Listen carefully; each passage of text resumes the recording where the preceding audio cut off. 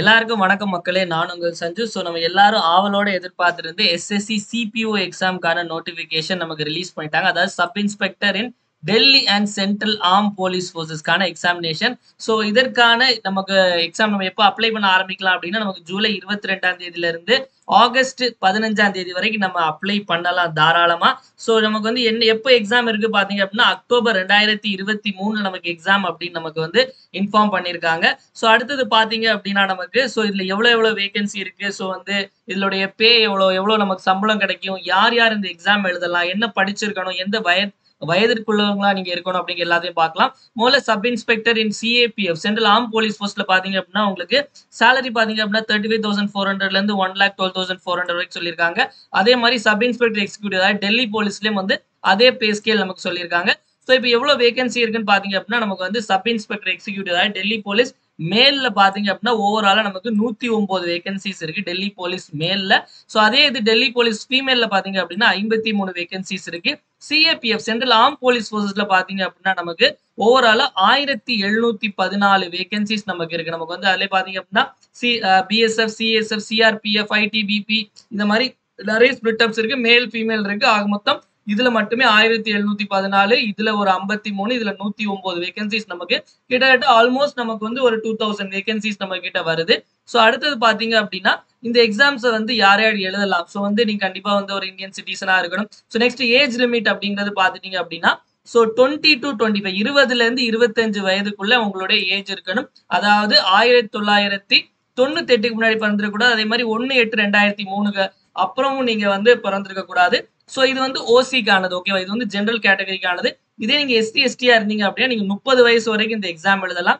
ஓபிசியா இருந்தீங்க அப்படின்னா இருபத்தெட்டு வயது வரைக்கும் எக்ஸாம் எழுதலாம். ஸோ எக்ஸ் சர்வீஸ் மேன்னா அதுக்கு தகுந்த மாதிரி அதுல இருந்து த்ரீ இயர்ஸ் பீரியட் அப்படிங்கிறது இருக்கு. ஸோ நெக்ஸ்ட் விடோஸ் அவங்க எல்லாருக்குமே வந்து தனித்தனி கோட்டா டிபார்ட்மெண்ட்ல ஆல்ரெடி டிபார்ட்மெண்ட்ல ஒர்க் பண்றவங்களுக்குமே நமக்கு தனித்தனியா ஏஜ் கேட்டகரி அப்படிங்கிறது மற்றபடி ஜென்ரலா பாத்தீங்க அப்படின்னா ஜென்ரலுக்கு வந்து டுவெண்ட்டி ஃபைவ் ஓபிசிக்கு டுவெண்ட்டி எயிட் எஸ்சி எஸ்டிக்கு நமக்கு வந்து தேர்ட்டி அப்படிங்கிறதா நமக்கு கொடுத்துருக்காங்க. ஸோ அடுத்தது பாத்தீங்க அப்படின்னா ஸோ என்ன படிச்சிருக்கணும்? ஸோ நான் என்ன எஜுகேஷனல் குவாலிஃபிகேஷன் பாத்தீங்க அப்படின்னா நமக்கு கண்டிப்பா ஒரு பேச்சுலர்ஸ் டிகிரி கண்டிப்பா ஒரு யூஜி டிகிரி நீங்க வந்து கண்டிப்பாக படிச்சிருக்கோம் ஸோ டிகிரி படிச்சவங்க மட்டுமே இந்த எக்ஸாம் எழுத முடியும் அப்படிங்கறத நல்லா தெரிஞ்சுக்கோங்க. ஸோ அடுத்தது வந்து என்னென்ன சிலபஸ் இருக்கு? ஸோ எப்படி அப்ளை பண்ணணும் எல்லாருக்கும் தெரிஞ்சிருக்கும். SSC dot NIC dot in அப்படிங்கிற வெப்சைட்ல போய் நம்ம வந்து அப்ளை பண்ணணும். அப்ளை பண்றது தனியா வீடியோ கூட நம்ம அப்புறமா நம்ம போடுவோம். ஸோ அதை பார்த்து மறக்காம எல்லாரும் கண்டிப்பா அப்ளை பண்ணிடுங்க எக்ஸாமுக்கு அப்ளிகேஷன் ஃபீ வந்து நூறு ரூபாய் தான் இருக்கும். அதே நீங்க ஒரு பெண் கேண்டிடேட்டா இருக்கீங்க இல்ல ஒரு எஸ்சி எஸ்டி எக்ஸ் சர்வீஸ்மேனா இருந்தீங்க அப்படின்னா உங்களுக்கு ஃபீஸ் அப்படிங்கிறது உங்களுக்கு வந்து சுத்தமாவே உங்களுக்கு கிடையாது. ஸோ அடுத்தது பாத்தீங்க அப்படின்னா என்னென்ன சிலபஸ் இருக்கு அப்படிங்கிறத பார்த்துடலாமா?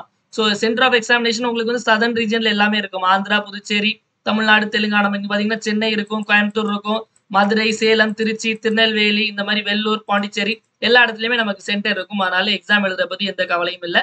ஸோ ஸ்கீம் எக்ஸாம் பேட்டர்ன் எப்படி இருக்குன்னு பார்த்தீங்க அப்படின்னா பேப்பர் ஒன் இருக்கும். பிசிக்கல் ஸ்டாண்டர்ட் டெஸ்ட் அல்லது பிசிக்கல் எண்டூரன்ஸ் டெஸ்ட்னு சொல்லுவாங்க. பேப்பர் டூ இருக்கும். Detail medical examination DME so வந்து நாலு ஸ்டேஜாக இருக்கும். ஸோ பேப்பர் ஒன் பார்த்தீங்க அப்படின்னா நமக்கு uh, ரீசனிங் ஐம்பது கொஸ்டின் ஐம்பது மார்க்குக்கு general knowledge and general awareness வந்து ஐம்பது கொஸ்டின் ஐம்பது மார்க்குக்கு ஆப்டிடியூட் ஐம்பது கொஸ்டின் ஐம்பது மார்க்குக்கு இங்கிலீஷ் காம்ப்ரிஹென்ஷன் ஐம்பது கொஸ்டின் ஐம்பது மார்க்குக்கு ஆக மொத்தம் பாத்தீங்கன்னா ரெண்டு மணி நேரம் எக்ஸாம் நடக்கும். பேப்பர் டூ பாத்தீங்க அப்படின்னா இங்கிலீஷ் லாங்குவேஜ் அண்ட் காம்பிரியன்ஷன் இரநூறு கொஸ்டின் இரநூறு மார்க் இதுவும் வந்து ரெண்டு மணி நேரம். ஸோ நமக்கு வந்து மல்டிபிள் சாய்ஸ் டைப்ல தான் நமக்கு இருக்கும். ஸோ நெகட்டிவ் மார்க்கிங் அப்படிங்கிறது இருக்கு. ஸோ மைனஸ் மார்க் அப்படிங்கிறது one third of the mark வந்து மைனஸ் ஆகும் அப்படின்னு சொல்லியிருக்காங்க. இதே நீங்க என்சிசி ஏபிசி இந்த மாதிரி சர்டிஃபிகேட்லாம் வச்சா உங்களுக்கு எக்ஸ்ட்ரா போனஸ் மார்க்கும் உங்களுக்கு வந்து கிடைக்கும். ஓகேவா என்சிசி கேண்டிடேட்ஸா இருந்தீங்கன்னா. ஸோ சிலபஸ் ஆஸ் யூஷுவல் நமக்கு வந்து ஆல்ரெடி நம்ம ஜென்ரல் எஸ்எஸ்சி சிலபஸ் மாதம் ஸோ ரீசனிங் வந்து நம்ம பாத்தீங்க அப்படின்னா அனலாகி சிலாஜிசம் uh, இந்த மாதிரி தான் so general knowledge general awareness வந்து நமக்கு history culture geography polity Indian constitution ஆப்டியூட்லையும் பார்த்தீங்க அப்படின்னா நமக்கு profit and loss ratio and proportion square root இந்த மாதிரி பட்டது நமக்கு இருக்கும். இங்கிலீஷ் காம்ப்ரிஹென்ஷன் நமக்கு நார்மலானது தான் ஸோ பேப்பர் டூலையும் தனியாக இங்கிலீஷ் அண்ட் லாங்குவேஜ் காம்ப்ரிஹென்ஷன் வந்து நமக்கு two hundred question two hundred mark வருது. ஸோ அடுத்து பிசிக்கல் ஸ்டாண்டர்ட் டெஸ்ட் அல்லது பிசிக்கல் எண்டூரன்ஸ் டெஸ்ட் பற்றி பார்க்கலாம். இதுல பார்த்தீங்க அப்படின்னா நீங்க மேல் கேண்டிடேட்டாக இருந்தீங்க அப்படின்னா ஒன் செவன்டி சென்டிமீட்டர் வந்து உங்களுக்கு ஹைட் கண்டிப்பா இருக்கணும். செஸ்ட் அன்எக்ஸ்பேண்டட் லெவல்ல வந்து எயிட்டி சென்டிமீட்டர் எக்ஸ்பேண்டட் லெவல் வந்து எயிட்டி ஃபைவ் சென்டிமீட்டர் அப்படிங்கிறது இருக்கணும். பிசிக்கல் ஸ்டாண்டர்ட் மேலுக்கு. ஸோ இதெல்லாம் பாத்தீங்கன்னா வேற ட்ரைபல் குரூப்ஸ்க்கான நமக்கு வந்து மோஸ்ட்லி இதை மட்டும் நம்ம பார்த்தாலே போதும். ஓகேவா ஸோ நெக்ஸ்ட் பாத்தீங்க அப்படின்னா ஒவ்வொரு வெயிட்டுக்கும் ஸோ அந்தந்த ஹைட்டுக்கு அந்தந்த வெயிட் அப்படிங்கிறது கொடுத்துருப்பாங்க. ஸோ அதை பார்த்துக்கலாம். பிசிக்கல் எண்டூரன்ஸ் டெஸ்ட் பாத்தீங்க அப்படின்னா வந்து ஸோ மேல் கேண்டிடேட்டா இருந்தீங்க அப்படின்னா நூறு மீட்டர் ரேஸ் பதினாறு செகண்ட்லையும் கிடக்கணும். One point six kilometre race six point five மினிட்ஸ்ல கம்ப்ளீட் பண்ணணும். ஸோ லாங் ஜம்ப் வந்து three point six five metre குதிக்கணும். மூணு சான்ஸ் கொடுப்பாங்க. High jump one point two metre three chance கொடுப்பாங்க. ஷார்ட் புட் பாத்தீங்க அப்படின்னா ஃபோர் பாயிண்ட் ஃபைவ் மீட்டர் தாண்டி வீசணும். மூணு சான்ஸ் கொடுப்பாங்க. அதே மாதிரி ஃபீமேல் கேண்டிடேட்ஸ்க்கும் பார்த்தீங்க அப்படின்னா நூறு மீட்டர் ரேஸ் வந்து பதினெட்டு செகண்ட் ஸோ எண்ணூறு மீட்டர் ரேஸ் நாலு நாலு மினிட்ல ஸோ லாங் ஜம்ப் வந்து டூ பாயிண்ட் செவன் மீட்டர் மூணு சான்ஸ் கொடுப்பாங்க. High jump zero point nine metre three chances உங்களுக்கு கொடுப்பாங்க ஓகேவா ஸோ பெண்களுக்கு வந்து செஸ் மெஷர்மெண்ட் அப்படிங்கிறது கிடையாது ஓகே ஸோ நெக்ஸ்ட் பார்த்தீங்க அப்படின்னா நமக்கு மெடிக்கல் எக்ஸாமினேஷன் அப்படிங்கிறது வந்து நமக்கு கண்டக்ட் பண்ணப்படும். ஸோ அதுக்கப்புறம் ட்ரைனிங்ல போய் நீங்க சில இதெல்லாம் நீங்க பாஸ் பண்ற மாதிரி இருக்கும் ஓகேவா ஸோ இதெல்லாம் இதான் நமக்கு பேசிக்கான டீடைல் ஸோ ஒன்ஸ் மோர் நம்ம எல்லாமே சொல்றோம். என்ன அப்படின்னா ஸோ நமக்கு வந்து சிபிஓக்கான எக்ஸாம் நோட்டிபிகேஷன் அப்படிங்கிறது நமக்கு ரிலீஸ் பண்ணியிருக்காங்க ஸோ இருபத்தி ரெண்டாம் தேதியிலேருந்து அப்ளிகேஷன் ஓப்பன் ஆகும். நீங்க வந்து எக்ஸாம் தாராளமா நீங்க அப்ளை பண்ணி நீங்க எழுதலாம். ஸோ யார் யாரெல்லாம் எழுத முடியும் அப்படின்னா நீங்க டிகிரி படிச்சவங்களா இருக்கணும். ஸோ அது மட்டும் இல்லாம என்ன ஏஜ்ல இருக்கணும் அப்படின்னு பாத்தீங்க அப்படின்னா நீங்க ஸோ ஜென்ரலா இருந்தீங்கன்னா இருபதுல இருந்து இருபத்தஞ்சு வரைக்கும்.